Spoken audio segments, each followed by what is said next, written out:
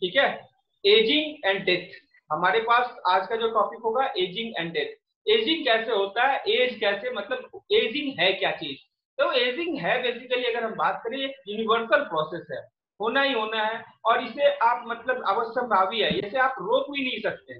Ageing होना ही होना है, तय है ये होना। लेकिन अब ये बात आती है किसकी? बायोलॉजी आखिर एजिंग होती कैसे है? आता कैसे है? डेथ होता कैसे है? एजिंग क्यों हो जाती है? अगर सेल अगर हम बात करें सिंपल अगर सेल है तो वो डिवाइड कर रहा है। डिवाइड करने के बाद वो सिंपली क्या कर रहा है आपका? डिवीज़न के बाद जो है नए सेल में कन्वर्ट हो रहा है, नया सेल बन रहा है, फिर वो फिर उसके बाद वो डिवाइड कर रहा है। तब तो वो मरना ही नहीं चाहिए कभी भी। इमोर्टल होना चाहिए, कभी कुछ नहीं होना चाहिए। जैसे आपका जो अमीबा वगैरह होता है, वो क्या होता है? इमोर्टल कहते हैं उसको। वो मरता ही नहीं है। मतलब एक सेल दो भाग में बटा, वो दो सेल फिर आगे वो तो मरा तो नहीं। अगर जब तक फिर से मरे। लेकिन हम लोग के साथ क्या होता है, हम लोग हम लोग मरते हैं, हम लोग इमोर्टल नहीं है। तो ये एजिंग होता कैसे है? एजिंग है क्या चीज़? तो जस्ट हम बात कर रहे थे कि एजिंग है क्या? अगर इस चीज़ पर अगर हम बात करें कि एजिंग चीज़ क्या है तो मैंने आपके लिए, उसके लिए पूरा एक स्लाइड पूरा प्रिपेयर किया हुआ है। आप लोग उस पर जाएँगे, आप उसके थ्रू हम लोग चलते चलेंगे। तो हमें बहुत अच्छे आराम से सब कुछ समझ में चला, चलते चलाएगा। आपके स्क्रीन पे ये जा रहा होगा आई थिंक हेलो आपके स्क्रीन पे ये जा रहा है? एक सा बच्चा है वो थोड़ा सा बड़ा हुआ उसके बाद बड़ा हुआ है एडल्ट एज में आया फिर वो बड़ा हुआ बूढ़ा हुआ बूढ़ा होने के बाद वो झुक गया और वो फाइनली डेथ की तरफ़ इन्वेस्ट कर गया। बात क्या होती है कि कैसे एजिंग हो कैसे रही है? एजिंग क्या है? Aging is a process become older क्या होना है? ओल्डर होना है, बूढ़ा होना है। A process that is genetically determined and environmentally modulated एक ऐसा प्रोसेस जो कि जेनेटिकली डिटरमाइंड है। जेनेटिकली वो डिटरमाइंड किया हुआ है कि आपको होना ही होना है। एजिंग एक तय सी प्रक्रिया है, होगी ही होगी। और दूसरा चीज़, ये क्या? ये इन्वायरमेंटल इन्वायरमेंट से मॉडुलेट किया जाता है। यानी इन्वायरमेंट इस पे इम्पैक्ट डालता है? दैट मीन्स क्या? एक तो एजिंग होगी, लेकिन इन्वायरमेंट उसको प्रोसेस में लाता भी जाएगा। आप देख रहे होंगे, मैं बार बार कहता हूँ कि जेनेटिक्स के बारे में अगर हम बात करें तो जेनेटिकली जो होता है, कोई भी चीज़ जेनेटिक्स जो होता है, वो बेसिकली हमारे अंदर है और उसको नर्चर कौन करता है? इन्वायरमेंट मैंने आपको इसके लिए एक छोटा सा एग्ज़ाम्पल मैंने पहले भी आपकी क्लास में भी मैं बता चुका हूँ, और फिर से मैं एक छोटा एग्ज़ाम्पल मैं आपको बता दूँ कि अगर एक ही दो मकई का दाना एक ही वेराइटी के अगर लें और दो अलग अलग गमलों में रखें। जेनेटिकली दोनों सिमिलर हैं बट अगर इन्वायरमेंट अगर उन्हें हम प्रॉपर ना दें, एक को अच्छे से धूप दें, पानी दें, सब कुछ दें, और दूसरे को हम छा में रखें, सही से पानी ना दें तो दूसरा जर्मिनेट करने के बाद थोड़ा बहुत ग्रो करेगा और एक जो है बहुत तेज़ी से अच्छे से ग्रो करेगा। क्या हुआ?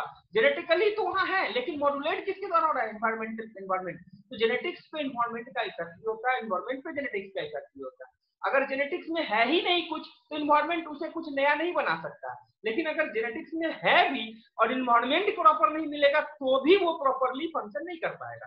तो यही चीज़ है कि दोनों ये चीज़। अभी हम बात कर रहे थे कि aging is both inevitable and universal that means कि अवश्यम भावी जिसे आप रोक नहीं सकते वो प्रोसेस है और यूनिवर्सल प्रोसेस है, यानी होना ही है, तय है। अब हम बात करेंगे कि ये उसके लिए जो हमारे पास इम्पोर्टेंस जो रखते हैं जो जीन जेनेटिक्स इसमें क्या क्या इंपॉर्टेंस रखता है जरा उस बात करेंगे।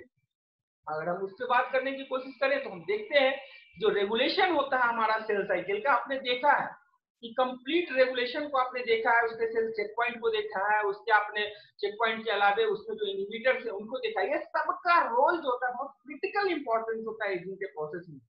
एक्चुअली है क्या? रेप्लीकेशन जो होता है replication should only occurs when there is need for growth and development replication कब होगा? जब हमारे पास नीड होगी ग्रोथ की डेवलपमेंट की कब इम्ब्रायो से यंग को बनने के लिए तो फटाफट रेप्लीकेट होगा, नया सेल बनेगा। और कब ज़रूरत होगी? जब हमें रिप्लेस करना है डैमेज और लस्ट सेल यानी कि ग्रोथ एंड रिपेयर दोनों के लिए ग्रोथ के लिए भी और रिपेयर के लिए भी डेवलपमेंट के लिए ग्रोथ के लिए और रिपेयर के लिए। लॉस्ट सेल को रिपेयर करने के लिए तो सेल साइकिल चलेगी। तो सेल साइकिल हमारा किसके द्वारा इन्फ्लुएंस है? उसी ग्रोथ के द्वारा, उस ग्रोथ फैक्टर्स के द्वारा। वही ग्रोथ फैक्टर्स हमारे जो हैं, वो क्या करवाते हैं? हमें आपके इस पूरे के पूरे सेल साइकिल को इंक्रीज आपका जो है इन्फ्लुएंस डालते हैं। कौन से? ग्रोथ फैक्टर और प्रोटोऑन्कोजिन्स आपने दोनों चीज़ पढ़ा हुआ है। ग्रोथ फैक्टर्स को भी देखा है आपने प्रोटोऑन्कोजिन्स को भी देखा है। और वो जो है, वो फेवर्स करते हैं। लेकिन वहीं पर अगर हम बात करें, जो एंटी ऑन्कोजिन्स हैं और जो हमारे जो जो वो प्रोड्यूस करते हैं ऐसे प्रोटीन जो कि रेप्लिकेशन को रोकते हैं। अब देख लीजिए, रोकना और चलाना, यही तो रेगुलेशन था। और इसी के बीच में जो है प्रोसेस अगर रुके हुए रहेंगे और, या रुक जाएँगे कंप्लीटली और वो सेल जो है पूरा पूरा फ़ंक्शन नहीं करता, पर चला जाएगा तो आगे एजिंग की तरफ़ बढ़ेगा। अब हम बात करें कि these various factors interact to regulate the cell cycle in cell that have retain the capacity to divide ये क्या करते हैं? ये फैक्टर्स रेगुलेट करते हैं सेल साइकिल को। और वो क्या करते हैं? डिवाइड की कैपेसिटी को बढ़ाते हैं। In addition there are cellular process that constitute checkpoints that prevent the cell cycle from proceeding if error have occurred. आपने देखा है, जैसे ही कोई एरर होता है, जैसे ही कोई एरर होता है तो सेल साइकिल के चेक पॉइंट्स सेल साइकिल के चेक पॉइंट्स उसको रोकते हैं। ठीक है? चाहे वो किसी भी फ़ेज़ में हो। आपने इसमें देखा है जो पहला चेक पॉइंट है, वो आपके जीवन फ़ेज़ में होता है और वो प्रोवाइड क्या करता है? अपॉर्चुनिटी देता है। किस चीज़ के लिए? Opportunity for cellular cellular that process repair damage DNA before cell enters to S phase देखा है आपने? एस फ़ेज़ में जाने से पहले रिपेयर करवाता है। और उसके अलावा अगर देखें this prevent daughter cell for inheriting damage DNA क्या करता है इससे? डैमेज डीएनए जाने से रोकता है। Which would result in mutation. इस रिज़ल्ट क्या होता है? उसका म्यूटेशन उसके there are also other checkpoints in S and G2 phase that check for damage DNA and failure of DNA replication. अगर किसी तरह का फेलियर हुआ है, उसमें को भी आपने देखा है।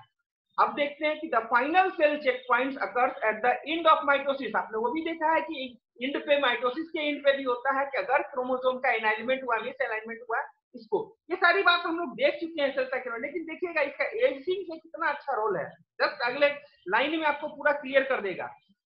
The many factor that regulate the cell cycle play an important role in the aging process कैसे? देखिए because age cell age their capacity to replicate diminish क्या हो रहा है? रेप्लीकेशन करने की कैपेसिटी कम हो रही है डिमिनिश हो रही है। क्यों हो रही है वो आगे हम चलेंगे। उसके सारे फैक्टर्स थ्योरीज को देखेंगे। डिमिनिश होती चली जाती है।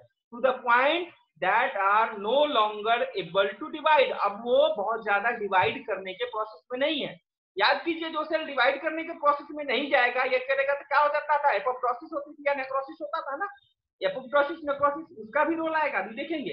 As this occurs the ability to replace damaged और lost cell dwelled and ultimately results and declines in tissue strength and cellular and organ function that characteristics of aging. क्या होता है एजिंग में? यही तो होता है। क्या होने लगता है? कि हमारा डैमेज हमारा सेल जो है, जो डैमेज हो रहा था, वो, क्या कहते हैं ना कि ओल्ड एज में अगर हड्डी टूट गई तो बहुत जल्दी जुड़ता नहीं है। ओल्ड एज में घाव हो गया तो बहुत जल्दी ठीक नहीं होता। क्यों? वहाँ आपके रेप्लीकेशन प्रोसेस रिप्लेस करने की कैपेसिटी वो डिमिनिश हो जाती है, घट जाती है। और यही चीज़ कहाँ पे क्यों होता है?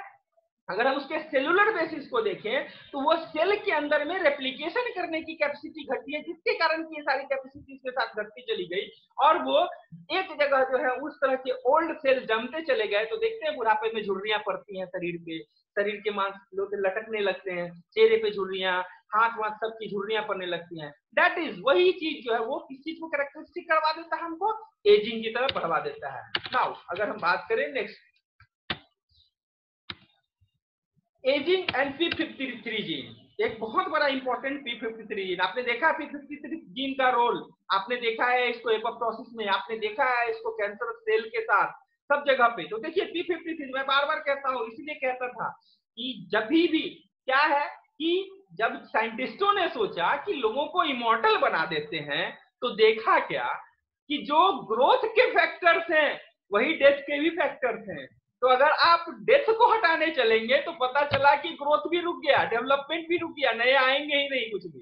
तो इसलिए ये अवसंभावी हो जाता है, यानी ग्रोथ और डेथ दोनों एक ही जीन से कंट्रोल होते हैं एक ही चीज़ से कंट्रोल होता है। आपने देखा है फिफ्टी थ्री जीन का रोल कैसे ग्रोथ में और रेगुलेशन में कंट्रोल था? आप यहाँ पर देखेंगे एजिंग में क्या उसका रोल है। देखिए पी फिफ्टी थ्री जीन क्या है? ट्यूमर सप्रेसर प्रोटीन है है ना पी फिफ्टी थ्री ये जो प्रोटीन जो पी फिफ्टी थ्री जीन से जो निकलता है, ये ट्यूमर सप्रेसर प्रोटीन है। और ये इनकोड करता है किसको? टीपी जीन को। और ये पी फिफ्टी थ्री प्रोटीन जो है, ये बहुत ज़्यादा स्टडी की गई है। क्यों? क्योंकि कैंसरस सेल्स की अगर हम बात करें तो मोर और लेस जितने भी कैंसर होते हैं, उसमें maximum cancer P fifty gene के इंटरेक्शन के कारण ही होता है। Arrest at the G one check point is mediated by P fifty three जो जीवन का चेक पॉइंट होता है, यानी कि ग्रोथ वन, पहला फ़ेज़ ही आपका। वहाँ भी पी फिफ्टी थ्री जीन का ही रोल है और उस जगह मेडिएट किया जाता है। इसलिए शुरुआत के दौर में ही कि डैमेज डीएनए को आप कैलकुलेट करने के लिए, निकाल लेने के लिए, उसको चेक कर लेने के लिए पी फिफ्टी थ्री जीन का रोल है।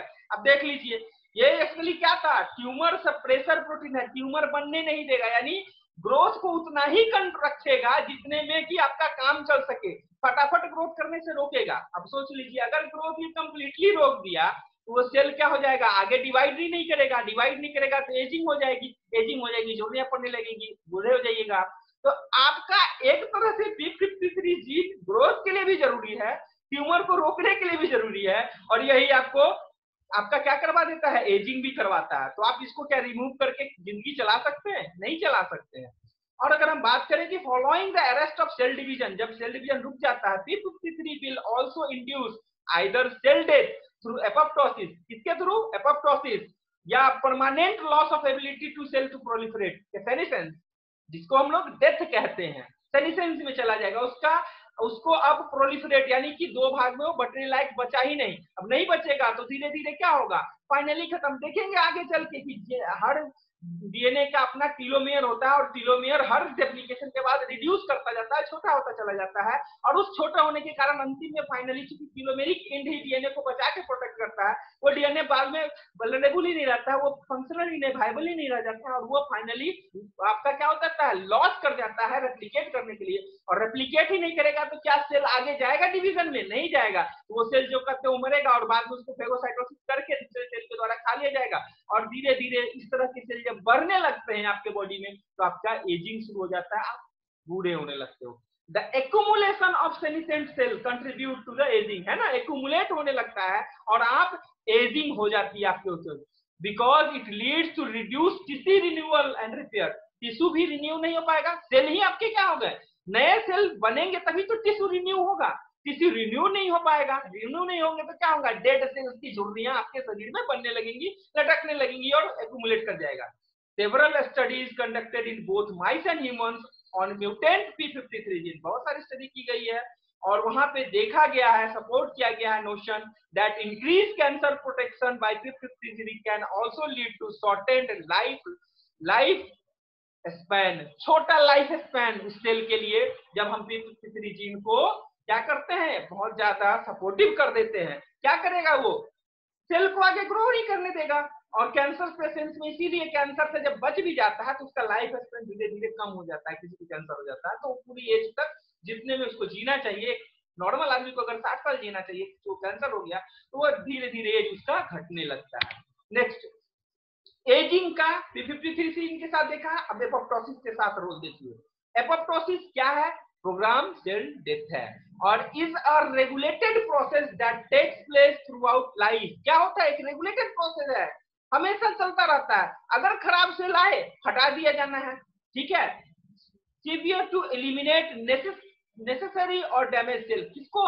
जो फालतू का सेल है और डैमेज सेल है, उसको आपको क्या करना है? प्रोग्राम सेल डेथ से हटाते जाना रिमूव करना है। Apoptosis takes place during embryonic development as means of reshuffling reshaping tissue during normal growth and development apoptosis जो है, वहाँ भी होता रहता है। मान लो, क्या मूवमेंट हो रही है सेल की? अलग अलग तरह से मूवमेंट हो रही है एम्ब्रायो बनने के दौरान। और वहाँ पर शेप बनाने अब नोज़ के लिए पूरा इतना बना हुआ है और इस जगह के सेल को मारना है, खत्म करना है तो तभी जाके वो शेप लेगा नोज़ का। अंदर नोज़ का बना हुआ अंदर छेद बनाना है तो क्या करेगा? अंदर के सेल को मार दिया तो अंदर का सेल जो है, नोज़ का शेप ले लिया। तो अलग अलग शेप को बनाने के लिए साइज़ डिसाइड करने के लिए प्रोसेस वहाँ पर बहुत ज़रूरी है और होता रहता है वहाँ पर। लेकिन अगर हम वही देखें development and it is provided a mechanism of eliminating worn out और damage cell throughout life throughout life हमारे जो है, जो डैमेज सेल होते हैं, उनको हटाने के लिए काम आता है। Age related disease such as Alzheimer अगर हम एल्जाइमर की बात करें, इसमें क्या होता है? और पार्किंसंस में have linked to increase in apoptosis where cells that might otherwise continue to support proper tissue function are limited. अब क्या हुआ अल्जाइमर में? या फिर आपके इसमें पार्किंसंस में? बेसिकली वहाँ जो सेल फ़ंक्शन में है, उनका भी प्रोग्राम सेल डेथ हो जाता है। अब जो फ़ंक्शन में थे, वो भी मरने लगे। तो क्या होगा फाइनली मरते मरते वो क्या हो जाएँगे? आपको बहुत सारे सेल मरे हुए सेल्स वहाँ पर जमा हो जाएँगे और एजिंग की तरफ़ बढ़ेगा। इसीलिए अल्जाइमर या पार्किंसन डिज़ीज़ के जो पेशेंट होते हैं, आप उसमें देखिएगा कि शॉर्ट एज में ही बहुत ज़्यादा एजिंग हो जाती है। पा मूवी देखी होगी आप लोगों ने? पा। अमिताभ बच्चन की आई थी पा। क्या यही डिज़ीज़ था ना अल्जाइमर क्या हो गया था उसको? बहुत बचपन में ही एजिंग हो गई थी। बुढ़ापा दिखने लगा था। क्या? फ़ंक्शन जो होने लगे थे, जो फंक्शनल सेल भी थे, वो भी यहाँ डेड होने लगे थे और बुढ़ापा दिखने लगा था वहाँ पर। देख लीजिए कंप्लीट एग्ज़ाम्पल है उसी चीज़ का ये। There are many pathway that protein that regulate pathway and protein that regulate apoptosis such as G fifty three gene G fifty three gene भी करवाता है that are able to sense cell that the are damage और no longer needed वो check करते हैं कि कौन से सेल का हमारा काम है या नहीं है या कौन डैमेज हो चुका है उसको एपोप्टोसिस में भेजना है। लेकिन कब क्या होगा? अगर एपोप्टोसिस के लिए चेक बिना किए हुए ही एपोप्टोसिस फटाफट होने लगे तो क्या हो जाएगा? एजिंग बढ़ने लगेगी। हमारे प्रॉपर जो फ़ंक्शन करने वाले सेल है वो भी मरने लगेंगे उनका भी प्रोग्राम सेल डेथ होने लगेगा और वो मरने लगेगा। The image below illustrate the undergoing apoptosis देखिए। ओके okay, एपोप्टोसिस का फिगर मैं नहीं डाल पाया हूँ। यहाँ ऑटोफेगी का डाल डाला है मैंने। ओके एजिंग एंड ऑटोफेजी हम बात करेंगे एपोप्टोसिस के बाद ऑटोफेगी की। ऑटोफेगी आपने देखा है, खुद से खा जाना। फैगी फैगी करना मतलब खाना। आपने देखा है ना? हमने पढ़ा था इसको कि हमारा सेल जो है ड्रिंकिंग करता है और सेल ईटिंग सेल ईटिंग को क्या बोलते थे? साइटो सेल ईटिंग थेगोसाइटोसिस और सेल ड्रिंकिंग पिनोसाइटोसिस तो ऑटोफेगी यानी खुद से खा जाना। है ना? सेल एक दूसरे को खा जाते हैं, लेके ये। कैसे?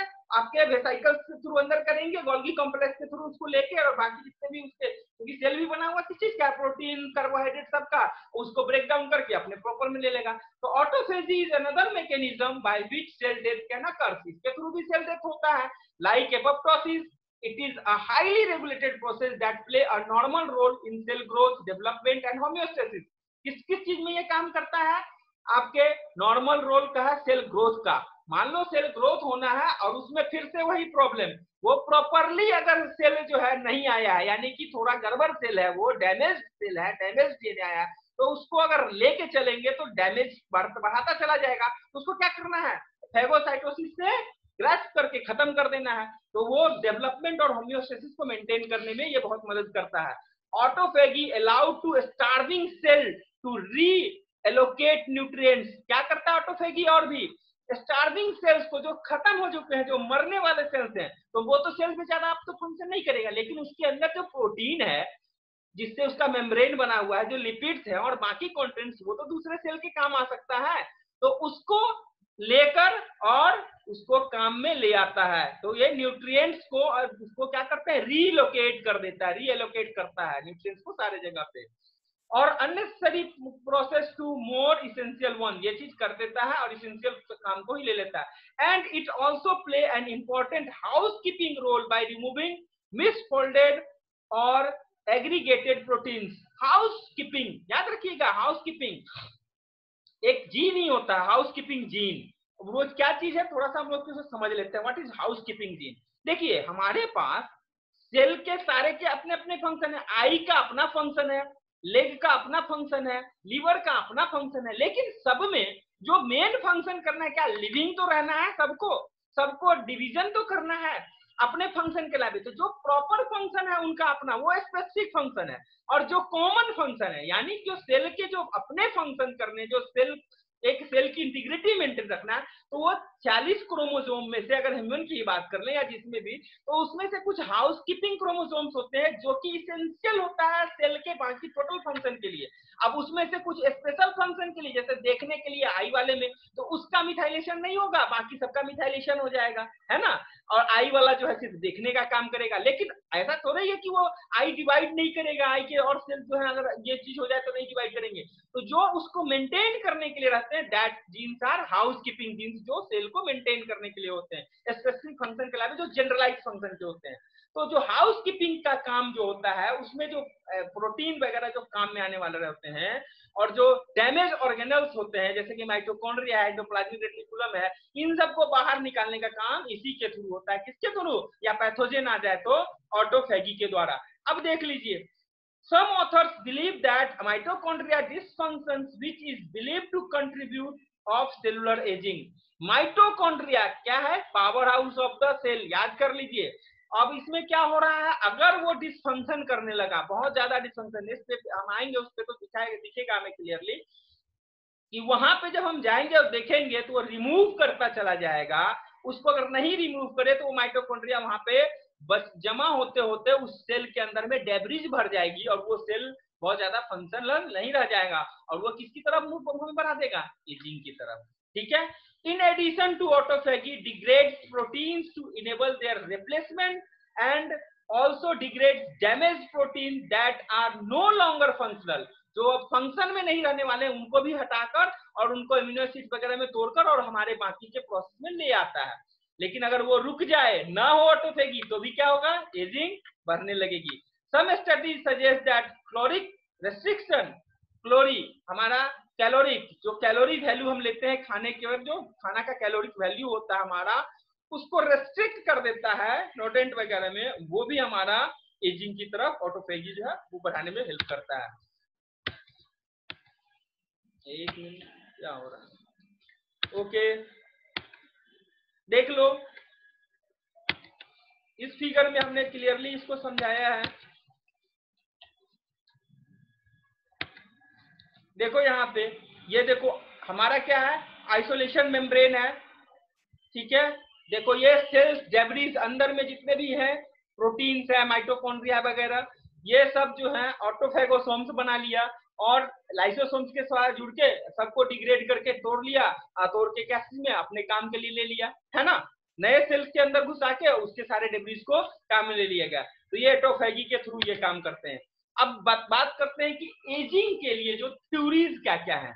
ये जो ये तुम तो देखें कि एजिंग इन इन कारणों से हो सकता है। या तो हमारा थ्री जीन हो, या हमारा ऑटोफेगी हो, या हमारा जो है, क्या कहते हैं, जो जीन का कंट्रोलिंग है, उसके थ्रू हो, किसी के थ्रू लेकिन थ्योरीज किस किस के कारण ये होंगे, उसको देखते हैं। हम बात करें वाई डू एज हम लोग एज हम लोग का क्यों बढ़ता है? Although the question has been raise since hundreds of year ago बहुत पहले से, क्योंकि लोग अपने एज के बारे में बहुत कंसस रहे हैं, शुरू से ही, कि हम कैसे ज़्यादा से ज़्यादा जी सके। लोग अपने इमोटल के लिए बहुत ज़्यादा कोशिश करते हैं, कोई मरना नहीं चाहता है। हर आदमी चाहता है मैं जितनी, जितना ज़्यादा जी सकूँ, जितना भी अपने एज को बढ़ा सकूँ, कैसे ही प्रोसेस ये शुरू से लगी रही है, हर कोई। लेकिन विडंबना यही है कि मृत्यु अटल सत्य है। अगर आए हो तो तुम्हें जाना है। और वो ऐसा नहीं कि साहित्य कहता है, वो विज्ञान प्रूफ करता है कि क्यों मरना है आपको। क्योंकि जैसे ग्रोथ करना है, जैसे आपको डेवलपमेंट करना है तो वैसे आपकी एजिंग भी होगी ही होगी। अगर एजिंग को रोकोगे तो आपका ग्रोथ भी रुक जाएगा डेवलपमेंट भी या नए जीव आएँगे ही नहीं। यानी जीवन के साथ मृत्यु सुनिश्चित है। ये बात अध्यात्म से जो बताई जाती है, वो विज्ञान यहाँ पे आपको पूरा प्रूव करता है। क्लियर है? देखिए कैसे। ये मिस्टीरियस है। लाइफ स्कन को कंट्रोल करने के लिए और डिस्कवरी के लिए। ड्यूरिंग द लास्ट डीके तो पिछले एक दशक से हम लोग देख रहे हैं, बहुत सारी थ्योरीज जो है एजिंग को एक्सप्लेन करने के लिए भी है। लेकिन कोई भी आज तक रियली में बात करें तो सेटिस्फैक्ट्री भी नहीं है कि इसी के द्वारा एजिंग हो रही है। बहुत सारे फैक्टर्स लगते हैं। That means genetical factor environmental factors and in, uh, in, uh, internal factor external factor यानी ए टू जेड बहुत सारे फैक्टर्स इसमें लगते हैं लेकिन कोई भी कंप्लीट एक्सप्लेनेशन एजिंग का आज तक नहीं दे पाया instead these theory interact with each other and all these together contribute in बात करें अगर तो इन सब के साथ ही सभी मिलकर कंट्रीब्यूट करते हैं एजिंग पे और एजिंग होता है we will only discuss three major theory यहाँ पर हम लोग क्या करेंगे? तीन मेजर थ्योरी डिस्कस करेंगे, जिसके थ्रू एजिंग होती है। क्योंकि बहुत सारे थ्योरीज को हमें जानना और समझने की उतनी ज़्यादा ज़रूरत भी नहीं है। पहली जो, पहला जो थ्योरी है हमारे पास, वो है डीएनए डैमेज सेलुलर सेनेसेंस का। एक्मुलेशन ऑफ़ सेनेसेंस सेल जो सेनेसेंस सेल है हमारे पास, जिनमें क्या हो गया? कैपेसिटी खत्म हो गई रेप्लीकेट करने की। अब वो रेप्लीकेट नहीं कर रहे हैं, यानी उनका एज उनकी लाइफ खत्म। अब वो क्या करेंगे? वो देखा जाए found in vivo mammals which increasing age जब हम इन वीवो स्टडी किया गया तो देखा गया कि जो सेनेसेंस सेल हैं, वो बढ़ते चले गए। और उनके अंदर से एज रिलेटेड पैथोलॉजी भी बढ़ती चली गई। दैट मीन्स कि जैसे जैसे एज बढ़ता गया, उनमें बीमारियों से लड़ने की कैपेसिटी घटती चली गई और उनमें सेनेसेंस यानी ओल्ड सेल के जो है उनका एकुमुलेशन बढ़ता चला गया। Cellular senescence is the state of irreversible growth arrest क्या है? इरिवर्सिबल ग्रोथ अरेस्ट यानी कि आप ग्रोथ रुक गया और ये अब आप फिर से पा भी नहीं सकते। वो ग्रोथ अब खत्म है। इरिवर्सिबल है। फिर से आप रिवर्स नहीं कर सकते हो। यानी अगेन ग्रोथ को आप इंड्यूस नहीं करवा सकते हो। They found that normal human fibroblast has a limited replicative potential and eventually entered a state of irreversible growth arrest अगर हम देखें तो हमारे पास जो ह्यूमन का फाइब्रोब्लास्ट फाइब्रोब्लास्ट सेल्स होते हैं उनमें लिमिटेड रेप्लिकेटिव जो होते हैं पोटेंशियल होते हैं लिमिट हो जाता है। उतने रेप्लीकेशन के बाद अब वो ग्रोथ नहीं करेंगे इरिवर्सिबल जो कहते हैं, वो रुक जाएँगे और जब फाइब्रोब्लास्ट रुक जाएँगे, आपके मसल्स वगैरह सब कुछ जो कहते हैं रुके रहेंगे और धीरे धीरे वो आपके क्या करने लगेंगे, देखिए। Meaning that cells being cultured in vitro has lost the ability to divide क्या हो गया? डिवाइड करने की एबिलिटी खत्म। अब डिवाइड ही नहीं कर सकता है तो नए सेल्स बनेंगे क्या? रिपेयर होगा क्या? डीएनए डैमेज हमारा कंट्रोल में रहेगा क्या? हमारा रिपेयर या ग्रोथ हो पाएगा क्या? नहीं तो क्या हो जाएगा? फाइनली सेनेसेंस या डेथ की तरफ़ मूव कर जाएँगे।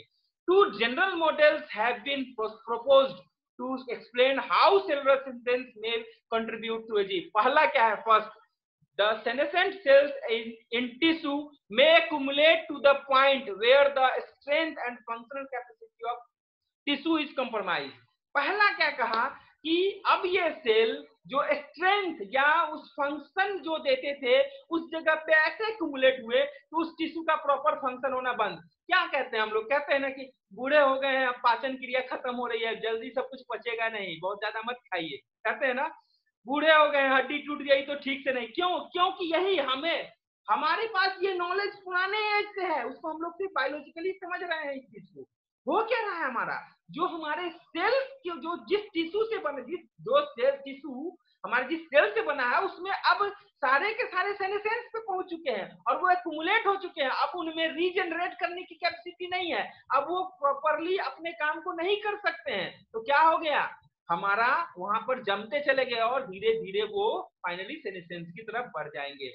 और बात हम करें कि a second model propose that senescence in stem cells limit their regenerative potential which eventually leads to progressive loss of loss of tissue strength and functional capacity पहला तो हो गया कि जो बन चुका है उसमें लॉस और दूसरा जो बनाने के लिए स्टेम सेल्स याद इसीलिए देखिए आपको मैंने स्टेम सेल्स पहले पढ़ा दिया सेल साइकिल पूरा पहले पढ़ाया तब एजिंग पढ़ा रहा हूँ क्योंकि तभी समझ में आएगी ये चीज़ आप पूरा पढ़ चुके हैं तो आपको समझ में आ रहा होगा कि स्टेम सेल्स ही क्या करते हैं? नए सेल्स में प्रोड्यूसरेट होते हैं। अब उनमें भी सेनेसेंस हो रहा है। अब वो नए सेल्स यानी एक तो जो बने हुए हैं, उनके फ़ंक्शन लॉस हो रहे हैं, उनका सब कुछ लॉस होकर कुमुलेट कर रहा है। और जो हमको बना के जो देता, उसके भी फ़ंक्शंस में लॉस आने शुरू हो गए हैं। और वो भी नया नहीं बना पा रहा है। तो क्या होगा फाइनली वो स्ट्रेंथ हमारा और फ़ंक्शन हमारे घटते चले जाएँगे। Cellular senescence can be triggered by number of mechanism क्या क्या मंगा हो सकता है? टेलोमेयर का शॉर्टिंग डीएनए का डैमेज जो कि हम नीचे देखेंगे। देखिए डीएनए का डैमेज माइटोकॉन्ड्रिया का डीएनए डीएनए हो या कहीं से भी डीएनए हो, कोई भी डीएनए हो, हमारा बहुत सारे चीज़ से डैमेज हो सकता है।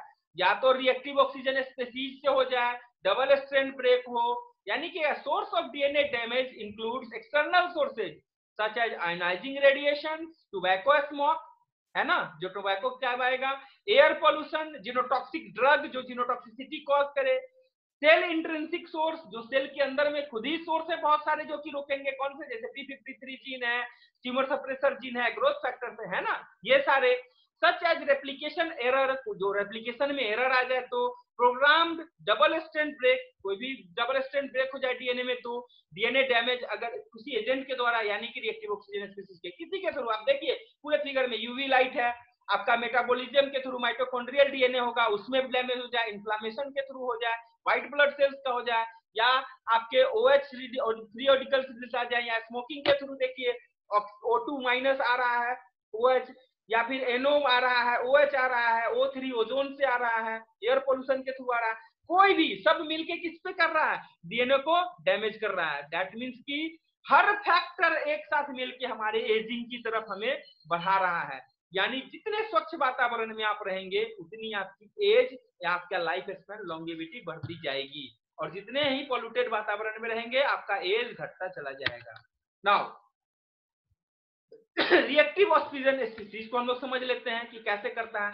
Reactive oxygen species ROS such as superoxide, anions, hydroxyl radicals, hydrogen peroxide, and nitric oxide are normal byproduct of metabolism जब हम मेटाबॉलिज्म करते हैं तो ये चीज़ बनने ही बनने तय है।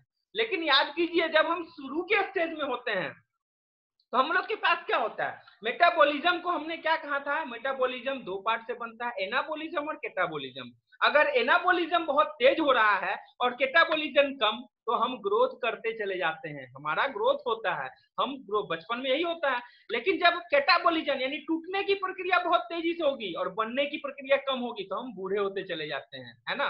तो ये मेटाबोलिज्म में यही चीज़ होता है। जब मेटाबोलिक बाई प्रोडक्ट बनते हैं तो ये सारे चीज़ बनते ही चलते हैं। और उस समय क्या होता है कि चूँकि हमारा ग्रोथ रेट इतना फास्ट होता है और नए सेल्स आते हैं और हमारा इसका वेंजिंग का कैपेसिटी हमारे नए सेल्स को खा जाने की, यानी फेगोसाइटोसिस करने की एपोप्टोसिस करने की, सबकी कैपेसिटी बहुत तेज होती है तो इन सबको हम लोग रिमूव करते चले जाते हैं और ग्रो करते बहुत अच्छे। लेकिन बाद में चल के यही धीरे धीरे घट जाती है। ROS can damage mitochondrial DNA mitochondria के भी डीएनए को कम करता है एंड प्रोटीन क्या होगा? माइटोकॉन्ड्रिया का डीएनए अगर कम होगा तो माइटोकॉन्ड्रिया फ़ंक्शन कम होना शुरू होगा। और माइटोकॉन्ड्रिया क्या है? एनर्जी का हमारा पावर हाउस है। और एनर्जी ही जब नहीं मिल पाएगी तो सारे प्रोसेस में धीरे धीरे डिक्रीज होने लगेगा। और हम लोग कहाँ बढ़ेंगे? एजिंग की तरफ़ बढ़ने लगेंगे।